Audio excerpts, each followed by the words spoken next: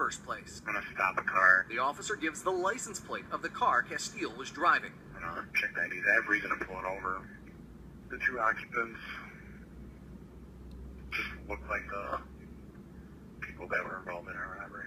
The driver looks more like one of our suspects just because of the wide set nose. A minute and a half later, Shots fired. Larpenteur and Fry.